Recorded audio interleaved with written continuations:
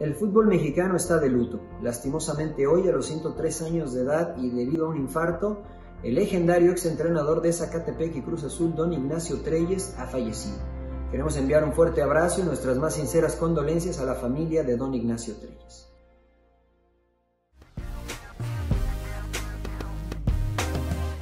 Sin duda alguna, Don Nacho Treyes es considerado como uno de los mejores entrenadores mexicanos en el balompié azteca. Pero de los actuales entrenadores mexicanos en activo, ¿cuál podría ser considerado como el mejor?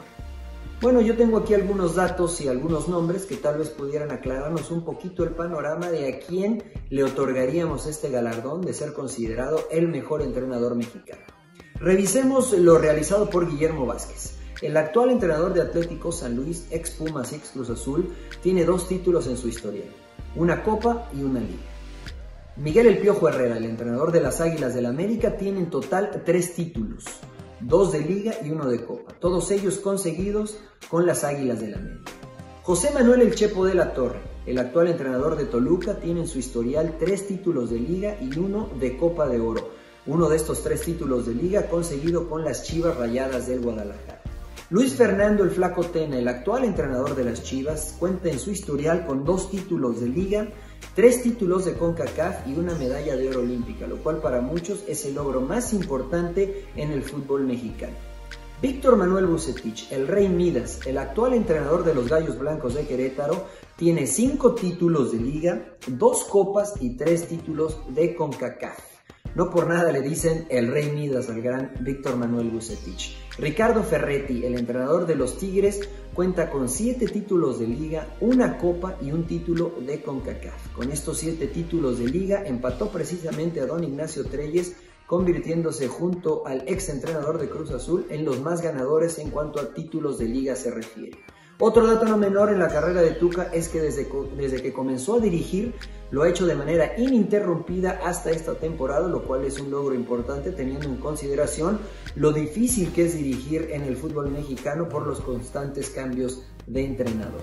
Estos solamente son algunos números, son estadísticas, son números fríos que sí considero son importantes para elegir al mejor entrenador mexicano. Pero creo que hay algunos otros elementos que también deben de traerse a la ecuación, como por ejemplo eh, la comunicación que se tiene con el cuerpo técnico y también con los jugadores. Porque una cosa es el conocimiento que se tenga como entrenador y otra cosa es la forma y la facilidad que se tiene para comunicarse con sus dirigidos y también con su cuerpo técnico. El manejo de grupo, que también va un poco de la mano de la comunicación, lo que realiza el técnico dentro de la cancha, pero también en el vestidor. Cómo maneja ese grupo de 20 o más jugadores en cuanto a personalidades y también en cuanto a egos. Y uno que se está volviendo más habitual es el manejo de los medios de comunicación. Cada vez es más frecuente que los técnicos tengan que salir a conferencias de prensa e interactuar con los medios, lo cual también tiene que traerse a la mesa.